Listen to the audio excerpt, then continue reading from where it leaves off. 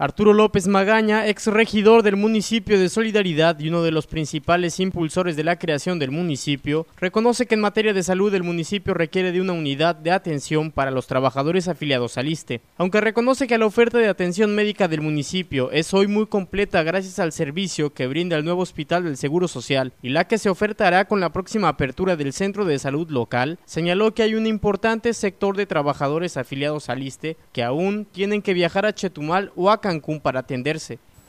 Lo único que sería falta nada más sería lo que sí hay un problemita aquí, es para la seguridad de los trabajadores del ISTE.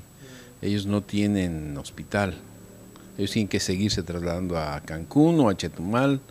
y no hay, y a pesar de que existe una gran cantidad de burócratas dependientes del gobierno federal y del gobierno municipal y estatal que se atienden a este nivel, eh, solamente un pequeño pequeño consultorio ahí